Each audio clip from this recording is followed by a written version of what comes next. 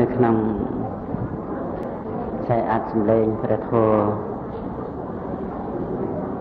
ខ្សែលេខ450ណាលេខរៀងឯកតកៈហើយត្រូវជាខ្សែអត្តទី2ដែលសំដែងនៅក្នុងរឿងរ៉ាវ ណាក្រោយអំពីព្រះសម្មាសម្ពុទ្ធបរិនិព្វានទៅជាង200ឆ្នាំក្នុងពុទ្ធសតវត្សទី3នៃប្រទេសស្រីលង្កាដែលជាកោះនៅក្នុងសមុទ្រ ខាងត្បូងប្រទេសឥណ្ឌាដែលក្នុងសម័យនោះមានឈ្មោះថាតាមតៈបណ្ឌិទ្វីបមានការកសាងនៅទីក្រុង អនុរាធៈបុរៈឬក៏អនុរាធៈបុរីណាដែលមានព្រះរាជាគ្រប់គ្រងសោយរាជជាវងដែលព្រះបាទវិជ័យ ព្រះបាទវិជ័យហ្នឹងព្រះអង្គនៅខាងផ្នែកខាងជើងនៃប្រទេសឥណ្ឌាបាន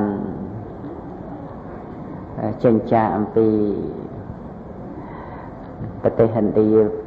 បែកខាងជើងនឹងទៅកោះតាមពៈបណ្ឌិទ្វីបនឹងណាហើយក៏បានចាប់ផ្ដើម កសាងតាំងរាជវង្សតាំងរាជវង្សតាំងតែពីព្រះសម្មាសម្ពុទ្ធបរិនិព្វានទៅក្នុងឆ្នាំហ្នឹងក្នុងឆ្នាំដែលព្រះសម្មាសម្ពុទ្ធព្រះអង្គទ្រង់បរិនិព្វានទៅហ្នឹងបានធ្វើដំណើរទៅណាហើយ បានអ្នកនៅក្នុងកោះហ្នឹងឈ្មោះថាជាសីហលៈសីហលៈហ្នឹងមកពីស្ដេចតារបស់ព្រះបាទវិជ័យនឹងឯងឈ្មោះសីហពេហុចឹងទៅក៏បានមានការតាំងនៅឈ្មោះ អ្នកស្រុកក្នុងការនឹងទៅតាមវងរបស់ព្រះជាហ្នឹងថាសីហលៈក៏មានការនិយាយជាភាសានៅក្នុងកោះតាមពៈបណ្ឌិទ្វីបហ្នឹងជាសីហលៈភាសាភាសាហ្នឹងឈ្មោះថាសីហលៈហ្នឹងចឹងទៅសីហលៈហ្នឹង គឺចាប់តាំងពីព្រះបាទវិជ័យដែលឆ្នាំព្រះសម្មាសម្ពុទ្ធទ្រង់បរិនិព្វានហ្នឹងបានធ្វើដំណើរពីប្រទេសឥណ្ឌាទៅឯខាងជើងហ្នឹងទៅក៏បានរៀបចំតាំងនៅវងនៃព្រះជាតតមកហើយ មានការកសាងនៅទីក្រុងឈ្មោះអនុរាធបុរីហ្នឹងក្នុងពុទ្ធសករាជ106ចាប់ផ្ដើមកសាងអនុរាធក្នុងការកសាងហ្នឹងដោយសារចាប់ផ្ដើមកសាងទៅ ទីក្រុងហ្នឹងនៅទីក្រោមផ្កាយអនុរាធៈហ្នឹងក៏បានដាក់ឈ្មោះថានគរអនុរាធៈអនុរាធៈបុរៈឬអនុធៈអនុរាធៈបុរីនឹងឯងរហូតមកក្នុងពុទ្ធសករាជ236ណា ពុទ្ធសករាជ236ហ្នឹងបានព្រះមហិន្ទថេរៈហ្នឹងនិមន្តទៅជាមួយនឹងគណៈសង្ឃភិក្ខុសង្ឃ4អង្គសម្នាក់សាមណេរមួយអង្គហើយនឹងផន្តកៈឧបាសកមួយរូបរួមដំណើរជាមួយនឹងព្រះមហិន្ទថេរៈដែលព្រះមោគលីបតទេសថេរៈ រួមជាមួយនឹងព្រះបាទធម្មាសោកនៅឯបាតលីបុត្រក្នុងប្រទេសឥណ្ឌាណាចាត់ដើម្បីឲ្យលោកនឹងនិមន្តទៅផ្សព្វផ្សាយព្រះពុទ្ធសាសនាផ្នែកខាងថេរវាទណាថេរវាទហ្នឹងគឺទៅតាមវាទៈរបស់ព្រះថេរៈមានព្រះមហាកសបៈ ជាដើមបានចងក្រងនៅបតមសង្គាយនីហើយក៏មានជាគណៈមួយចឹងទៅឈ្មោះថាថេរវាទត្រឹមត្រូវទៅតាមព្រះធម៌ព្រះវិន័យរបស់ព្រះសម្មាសម្ពុទ្ធនឹងអឺខាង គណៈមួយទៀតនោះឈ្មោះអាចរិយវេទយើងធ្លាប់ឮជាញឹកញាប់មកថាជាមហាយានហ្នឹងគឺប្រព្រឹត្តទៅតាមអាចារ្យតាមវេទៈរបស់អាចារ្យហ្នឹងក្រោយអំពីព្រះសម្មាសម្ពុទ្ធបរិនិព្វានទៅដែលមានជាអចរិយវាទហើយនឹងមានថេរវាទណា ពិតមែនតែក្រោយអំពីព្រះអង្គបរិនិព្វានទៅតែថេរវាទនេះគឺទៅតាមវាទៈរបស់ព្រះថេរៈជាព្រះអរហន្តបានចងក្រងព្រះធម៌ព្រះវិន័យតាមព្រះសម្មាសម្ពុទ្ធចោម្ចាស់ហើយសវណ្ណភូមិយើងនេះ ក៏បានទទួលនៅការផ្សព្វផ្សាយព្រះពុទ្ធសាសនាផ្នែកខាងថេរវាទនឹងឯងចាប់ផ្ដើមមុនដំបូងគឺថេរវាទនឹងចូលមកមុនទៀតបានមហាយានចូលតាមក្រោយប៉ុន្តែរហូតដល់យើងសពថ្ងៃគឺបានប្រែคล้ายមកជាថេរវាទណា រឿងរ៉ាវពុទ្ធសាសនាចូលមកស្រុកខ្មែរយើងក៏មានកម្ពីប្រវត្តិសាស្ត្រដែរចាំមានឱកាសជាបន្តទៅខ្ញុំក៏ដែរខ្ញុំបាទនឹងទៅគេពុទ្ធសាសនាចូលមកសវណ្ណភូមិចឹងហើយនឹងស្រុកខ្មែរយើងហ្នឹងឯងទទួលពុទ្ធសាសនាជាថេរវាទហ្នឹងពីឆ្នាំណាដល់ឆ្នាំណាហើយ មហាយាននឹងចូលមកយ៉ាងណាហើយសប្ថ្ងៃហ្នឹងកម្មថេរវាទហ្នឹងពីឆ្នាំណាមកណាប៉ុន្តែ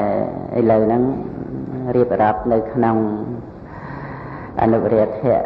ពុរីណាអនុរាធៈបុរៈហ្នឹងសិនថ្វាយបង្គំ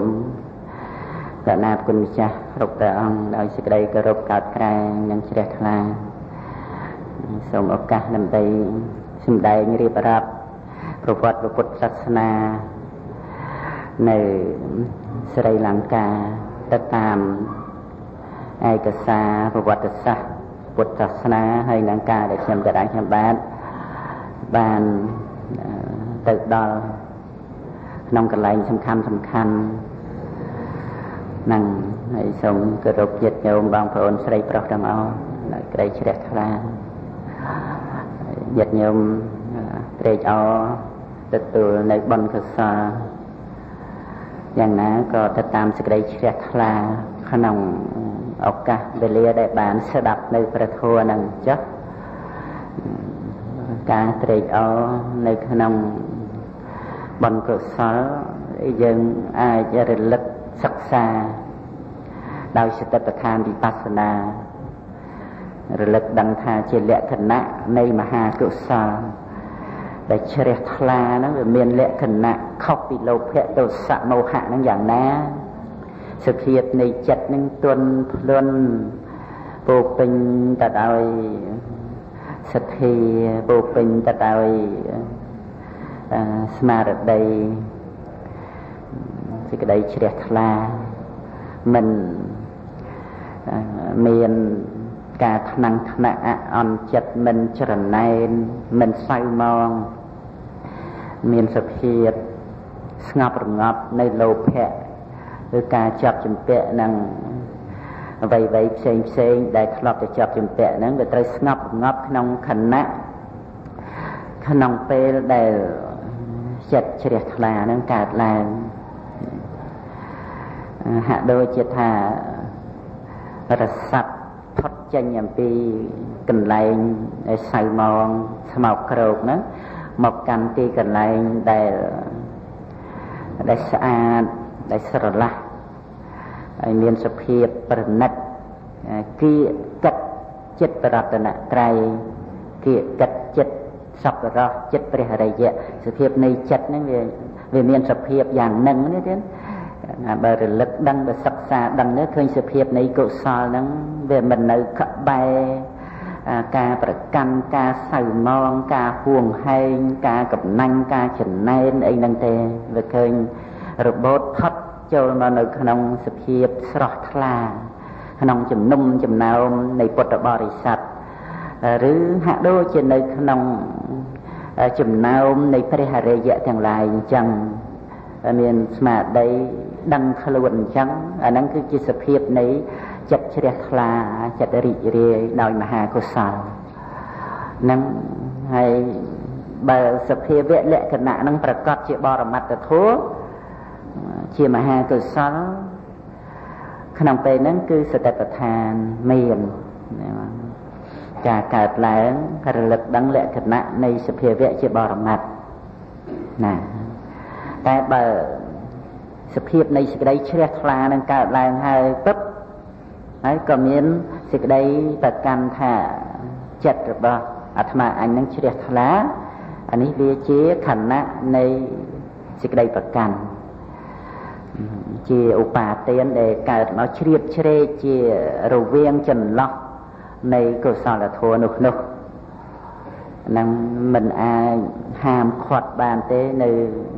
សេចក្តីប្រកាន់ មិនមានលក្ខណៈជាការអអន់ខឹងក្រោតមួម៉ៅអីមែនតែវាចូលទៅប្រកាន់សុភាពនៃសេចក្តីជ្រះថ្លាដែលជាមហាកុសលហ្នឹងថាយើងជាអ្នកជ្រះថ្លា តែបើលក្ខណៈរបស់សតិថ្នាក់សតិប្បដ្ឋានសភាពនៃសេចក្តីជ្រះថ្លាហ្នឹងក៏ប្រកបជាបរមត្តធម៌មានការសោយអារម្មណ៍ជាសោមនស្សជ្រះថ្លា ហ្នឹងហើយក៏មានការប្រកាសឡើងជាសភាវៈចំណែកមួយដែលមិនមែនជាអកុសលចិត្តមិនមែនជាលោភៈទុសៈមោហៈនឹងមានលក្ខណៈជានាមធម៌អត់មានលាយច្រឡំអីដោយរូបធម៌ទេ នៅក្នុង សេចក្តីជ្រះថ្លានោះនឹងមានលក្ខណៈមិនបានតាំងនៅមមួនមានលក្ខណៈមិនទៀងមិនថិតថេរនឹងបាត់បង់ទៅវិញសាបសូន្យទៅវិញដែលអត់មានតាំងមមប្រកបរហូតនោះឡើយនឹងលក្ខណៈនៃបរមត្តប្រកបយ៉ាងហ្នឹងនេះគឺព្រោះសតិថ្នាក់សតិប្បដ្ឋានហ្នឹង ចម្រើនឡើងកើតឡើងនេះខ្ញុំកណ្ដាលសម្ដេចហ្នឹងក៏ឆ្លៀតសំដែងនៅក្នុងសុភាវៈធัวផងដែរដើម្បីឧបការៈដល់ស្ថិតឋានបដិបត្តិពីព្រោះជាកុសលធម៌សំខាន់ណាស់ជាទីពឹងសម្រាប់ដំណើរជីវិតរបស់យើង នឹងទីប្រវាចាអំពីស្តបឋានបរិបត្តិនេះហើយពុទ្ធបរិស័ទយើងមិនបានទីពឹងមកមួនទេណាសំដីដឹងខ្លួនថាបានធ្វើកុសលច្រើនក៏ដោយប៉ុន្តែកាលណាបើវានៅមានសេចក្តីសម្គាល់ថាជាខ្លួនយើងទេ ហើយសេចក្តីសម្គាល់ថាខ្លួនយើងនឹងវាអាចនាំយកនៅសេចក្តីចង្អៀតចង្អល់ចិត្តឬសេចក្តីក្តៅក្រហាយចិត្តក្នុងអំពើកម្មអីមួយដែលខ្លួនឯងបានធ្វើមកជាការឆ្កំឆ្គងនោះនឹងហើយក៏មិនបានបើកបង្ហាញមិនបានសំដែងប្រាប់អីដល់អ្នកដតីទេពីព្រោះ សភាពរបស់កិលេសហ្នឹងវាអញ្ចឹងវាតែងតែបិទបាំងនៅអ្វីដែលជាកំហុសឆ្កំឆ្គងនឹងបើកបង្ហាញប្រាប់តែពីរឿងល្អរឿងត្រូវរឿងប្រសើររឿងដែលអ្នកផងនឹងឯងចូលចិត្តស្រឡាញ់រាប់អានគោរពនិងបូជាដោយលៀបសក្ការៈសរសើរដោយប្រការផ្សេងផ្សេង នឹងរឿងរបៀបហ្នឹងគឺអាចដើម្បីនឹងនិយាយប្រាប់បើកបង្ហាញឲ្យដល់អ្នកដតីប៉ុន្តែរឿងអីដែលវាជារឿងអាក្រក់របស់ខ្លួនវាជារឿងមិនល្អនិយាយទៅវានាំឲ្យខាតលៀបវានាំឲ្យបាត់បង់នៅកិត្តិយសវានាំឲ្យមានការអៀនខ្មាស់អីនោះក៏បិទបាំងលាក់ទុកប៉ុន្តែពិតមែនតែបិទបាំងលាក់ជាមួយនឹងអ្នកដតី នឹងអ្នកដតីមិនដឹងព្រោះមិនមាននៅចេតោបរិយាញាណណាមិនមានញាណដើម្បីនឹងដឹងចិត្តអ្នកដតីមិនអាចដឹងចិត្តយើងមិនអាចដឹងអាកំបាំងរបស់យើងនឹងដែលមិនមានបរចិត្តវិជាហ្នឹងគឺមិនដឹងហើយក៏ចេះតែសម្លឹងមើលមកថាយើងនឹងវាល្អយើងនឹងវាប្រសើរនឹងតាមដំណើរដែលយើងបានប្រព្រឹត្ត ដោយកាយដោយវាចាអីដែលធ្វើឲ្យអ្នកដទៃចូលចិត្តអានឹងអញ្ចឹងគេដឹងទៅពីរឿងល្អពីរឿងប្រសើររបស់យើងប៉ុន្តែខ្លួនយើងនេះដែលជាអ្នកបានប្រព្រឹត្តធ្វើនៅពើឆ្កំឆ្គងហើយបានលាក់ទុកសំងំដឹងតែម្នាក់ឯងនឹងអញ្ចឹងទៅនឹកឃើញទៅវាក្តៅក្រហាយរាយរាយនឹកឃើញទៅវាសៅហ្មងរាយរាយនឹងវាកើតទៅជាការសន្សំនៅ នៅអំពើកម្មហ្នឹងវាទៅជាពហុលកម្មអំពើកម្មហ្នឹងដែលបានធ្វើម្ដងអីទៅអញ្ចឹងទៅពីរដងអីចឹងក៏ពិតមែនប៉ុន្តែនៅពេលនឹកឃើញក្តៅក្រហាយគេកុកច្ចៈចេតសិកហ្នឹងណាកើតឡើងបដិវិបដិសារៈហ្នឹងហ្នឹងនឹកឃើញវាក្តៅក្រហាយអញ្ចឹងអាហ្នឹងទៅជាពហុលកម្មណាទៀត ហ្នឹងវាសន្សំរឿយរឿយហ្នឹងហើយសំដីក្នុងបច្ចុប្បន្ន4 10 20ឆ្នាំហ្នឹងយើងប្រឹងបំពេញសេចក្តីល្អច្រើនច្រើនច្រើនសម័យយើងសប្តាហ៍ថ្ងៃនេះខ្ញុំគិតថាមិនងាយអីទៅច្រើនដូចជាព្រះនាងមលិកាទេដែលជាអកមហេសីនៃប្របាទបសេនតិកោសលមិនងាយអីនៅទៅច្រើន ដូចជាព្រះនាងមលិកាទេណោះព្រះនាងមលិកាបានធ្វើទានជាមួយព្រះអរហន្តធ្វើជាមួយព្រះសម្មាសម្ពុទ្ធធ្វើទានដែលអត់មានអ្នកណាស្មើជួយជ្រុំជ្រែងក្នុងអសតិសទានដែលប្របាទបសេនតិបានធ្វើនោះបានជួយជីវិតមនុស្សដែលព្រះជាបំរុងនឹងធ្វើពិធីបូជាយ៉ាញ់មនុស្សសត្វច្រើនណាស់ ព្រះនាងមលិកាមានប្រាជ្ញាជួយឲ្យមនុស្សទាំងអស់សត្វទាំងអស់បានរស់ដោយនាំព្រះជាតកលព្រះសម្មាសម្ពុទ្ធណាប៉ុន្តែកំហុសខុសឆ្គំឆ្គងតែម្ដងគិតហើយបានលាក់បិទបាំងនឹងព្រះស្វាមីព្រះជាបានបិទបាំងខ្លែងធ្វើជាពិធីបោកប្រាស់ព្រះជា ពិតមែនតែលាក់ជាមួយព្រះរាជាបានមែនតែលាក់ជាមួយខ្លួនឯងអត់បានកាត់ទុកក្តៅកាហាយរឿយរឿយរហូតដល់សៅមងចិត្តនៅពេលចិត្តស្រាប់ទៅនរកតតែបានហ្នឹងនេះក៏ជាការសម្ដែងបញ្ជាក់ឲ្យឃើញថា ការដែលយើងបំពេញកុសលច្រើនណាតែមិនតាន់ប្រកាសជាថាបានទីពឹងការពីអបាយភូមិទេ នឹងត្រូវធ្វើទុកក្នុងចិត្តថាអបាយភូមិនឹងដូចជាខ្លាកំណាចសត្វតោដែលអត់អាហារច្រើនថ្ងៃហើយស្រេកឃ្លានកំពុងតែដេញយើងមកអញ្ចឹងតែនៅក្នុងសភាពជាប្រតិជននឹងមិនតាន់រួចពីអបាយភូមិឯណាហ្នឹងទៅធ្វើទុកក្នុងចិត្តថានរកកំពុងតែដេញតាមមក ដូច្នេះការដែលយើងកើតឲ្យជាមនុស្សនេះមិនមែនកើតមកដើម្បីសម្រាប់សម្រានស្រួលឬក៏សប្បាយរីករាយនឹងការមគុណចឹងទេដើម្បីសងនឹងសេចក្តីទុកលំបាកក្នុងពេលមុនមុនអីហ្នឹងយ៉ាងណាក៏គិតតែពីសបាយរីករាយទៅក៏កើតមកជាមនុស្សវាត្រូវសបាយនឹងកម្មគុណជារបស់មនុស្សអាហ្នឹងមិនមែនយ៉ាងហ្នឹងទេ កើតមកនេះបដិសន្ធិនេះគឺដើម្បីរត់កិច្ចចេញពីអបាយភូមិហ្នឹងអាហ្នឹងវាទៅតាមស្មារតីរបស់ពុទ្ធបរិស័ទយើងដែលមានសទ្ធាច្បាស់លាស់ក្នុងដំណើរជីវិតដែលឃើញថាសត្វលោករមែងប្រព្រឹត្តតាមកម្មសទ្ធាហ្នឹងវាជាបច្ច័យឲ្យមាន យោនិសំអ្នកសិការៈឲ្យមានសតិសម្បជញ្ញៈធ្វើទុកក្នុងចិត្តថាដូចនរកកំពុងដេញមកអញ្ចឹងដូច្នេះនៅក្នុងកំណើតជាមនុស្សនេះគឺប្រឹករត់ចេញពីនរកហ្នឹងរត់ដោយការបំពេញនៅកុសលធម៌នឹងទុកលំបាកយ៉ាងណាក្នុងកំណើតជាមនុស្សនេះមានសេចក្តីអត់ធន់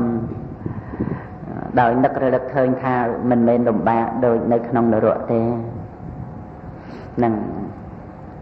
គ្រាន់តែយើងស្រេកឃ្លានបន្តិចបន្តួចក្នុងកំណើតជាមនុស្សប៉ុណ្ណឹងហើយយើងនឹកឃើញមើលដែលនៅក្នុងកំណើតរកប្រែតនឹងវាលំបាកជាងនឹងប៉ុណ្ណាទៅ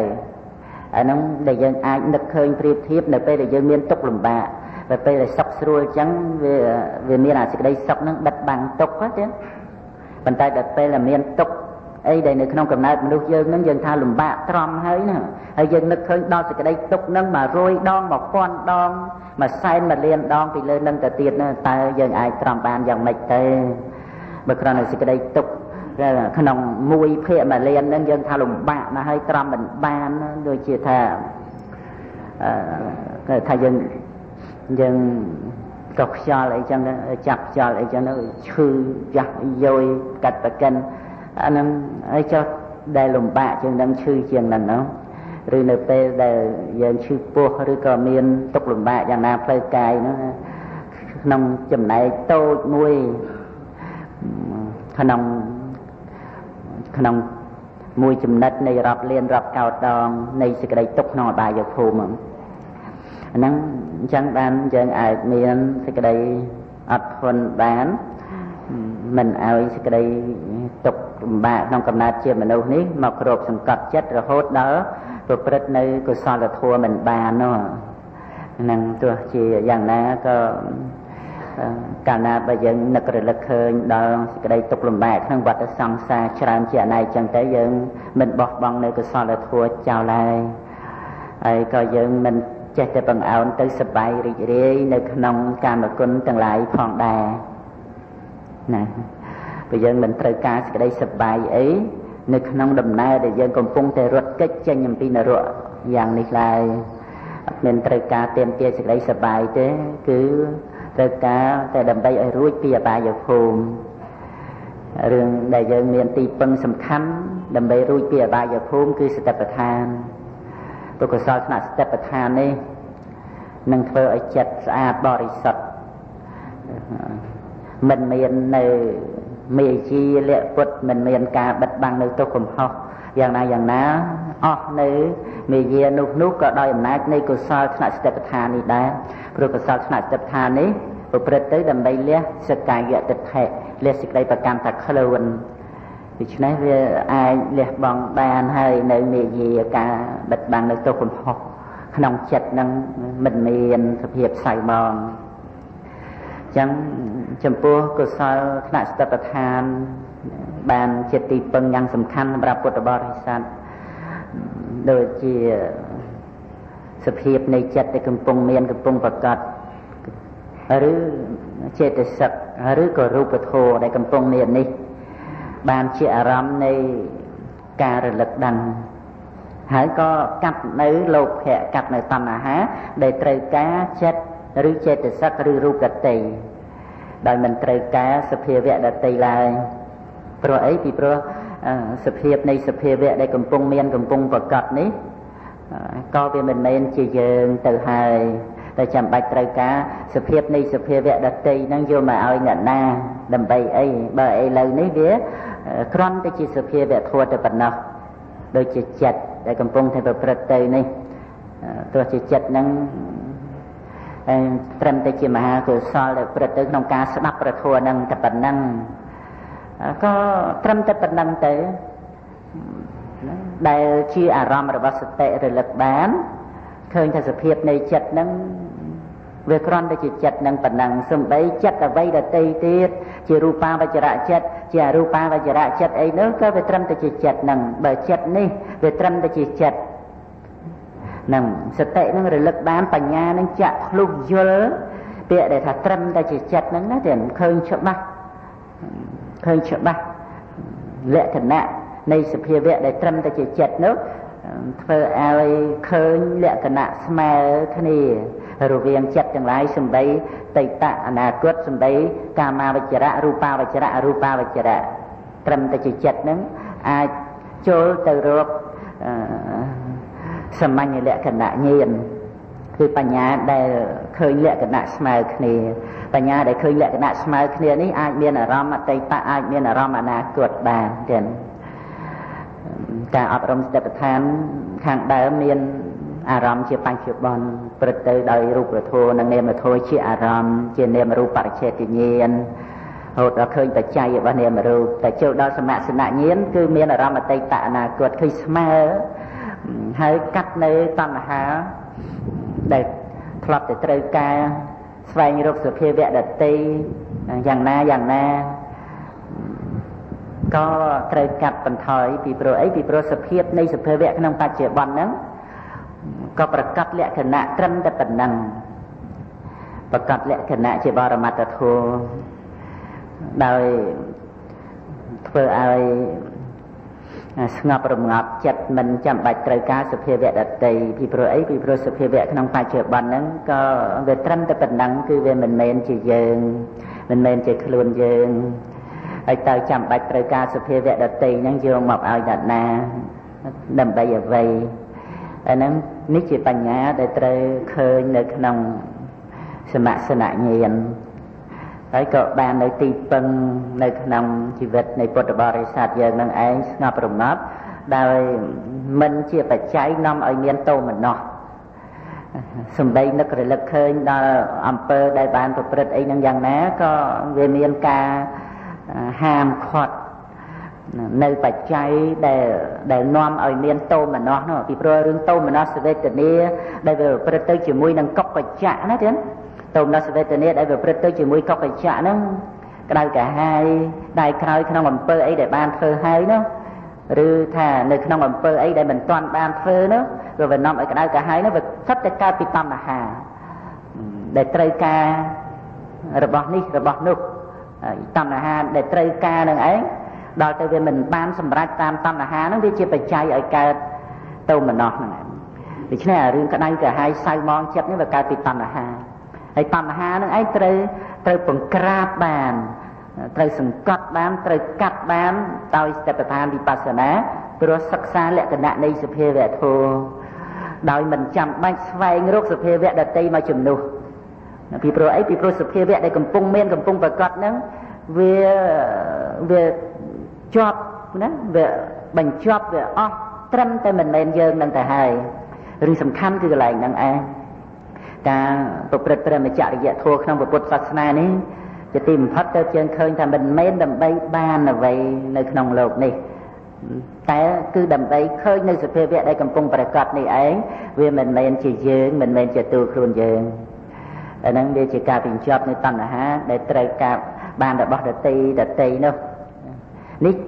ទៅធ្វើឲ្យបញ្ញានឹងឯងបានឃើញផ្លូវដែលត្រូវចេញចាកពីវត្តដាក់ហ្នឹងគឺការរំលត់សេចក្តីប្រកាន់ក្នុងសភាវៈធម៌ការរំលត់សេចក្តីប្រកាន់ដោយអំណាចនៃបញ្ញា